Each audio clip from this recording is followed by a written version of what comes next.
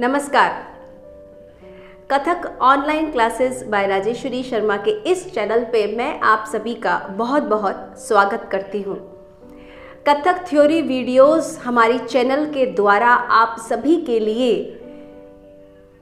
आपके नृत्य में विकास करने के लिए लगातार आते रहते हैं, जिसमें हमने 95 वीडियोस कवर किए हैं। यानी कि थ्योरी वीडियोस 95 आपके पास पहुँच चुके हैं, जिसमें कथक की थ्योरी को वीडियो फॉर्म में खूबसूरत और आसान तरीके से प्रस्तुत किया गया है। आपको याद होगा कि हमने सप्त पदार्थ और सप्त माल का एक वीडियो आपके सामने प्रस्तुत किया था। क्या होता है सप्त पदार्थ और फिर क्या होता है सप्त माल?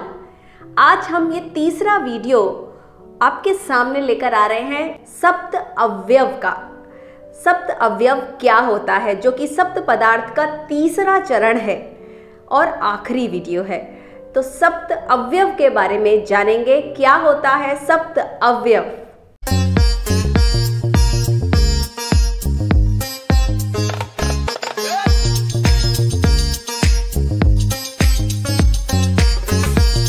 कथक नृत्य के वर्तमान क्रम को बहुत से विद्वान सात भागों में विभाजित करते हैं, जिन्हें पूर्ण रूप से सप्त अवयव कहा जाता है।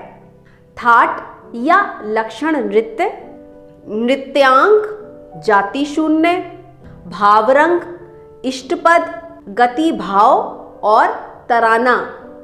श्री ला ना गर्ग ने कथक नृत्य पुस्तक में इसका परिचय, यानी कि सप्त अवयव का परिचय कुछ इस तरह से दिया है। ताल के ठेकों की आवर्तियों के आधार पर नृत्य की स्थिति और उसके पूर्ण रूप का दिग्दर्शन होता है। नृत्यांग, इसमें नृत्य के विविध रूप प्रस्तुत किए जाते हैं, जिसमें ताल की आवर्तियों के साथ लयकारी, जाति यहाँ तक कि तत्कार का उच्चारण भी सम्मिलित होता है। जाति शून्य, इसमें लय की विशेषता को भाव तथा अंग से प्रदर्शित किया जाता है। तथा भाव को संकुचित रूप से प्रस्तुत किया जाता है। इसमें नायक नायिका भेद को साहित्य परन भावपरन तथा साहित्य जाति के आधार पर प्रस्तुत किया जाता है। इसमें कवित्व के पदों द्वारा इष्ट देव की स्तुति में भावों को स्वर जाति और इष्ट पदों द्वारा प्रस्तुत किया जाता है। अब आता है गति भाव। इसमें किसी भी प्रकार की कथा का वर्णन होता है जो ठुमरी इत्यादि में बांधा जाता है। अब आता है अंतिम तराना। यह गति भाव का द्रुत रूप है, जिसमें स्वर्ण मिश्रण के साथ संगीत संगीत परन, यानी कि और साहित्य परन मिल जाती है।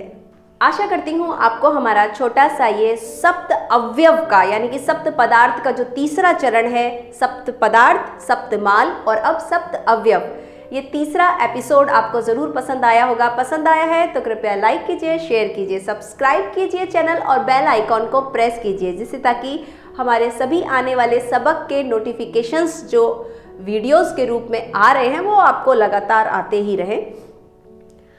मेरा यदि आप बूस्टर ज्वाइन करना चाहते हैं अपने स्टेमिना को डेवलप करने के लिए, चाहे वो चक्कर का स्टेमिना हो, चाहे फुटवर्क का स्टेमिना हो, चाहे बंदिशों का हो, परन का हो या किसी भी तरीके से जो भी आपकी कमज़ोर कड़ी है नृत्य के लिए, वो अगर आप पुख्ता करना चाहते हैं तो आप मेरे बूस्टर्स ज़रूर ज्वाइन कीजिए। आपको बहुत मज़ा आएगा। हमारे बूस्टर्स गूगल मीट पर होते हैं। ऑनलाइन क्लासेस भी गूगल मीट पर होती है और ऑफलाइन में मालवीय नगर दिल्ली में उपलब्ध हूँ। मैं अपना नंबर डिस्क्रिप्शन में नीचे छोड़ रही हूँ। आप चाहें तो मुझसे संपर्क साध सकते हैं। धन्यवाद।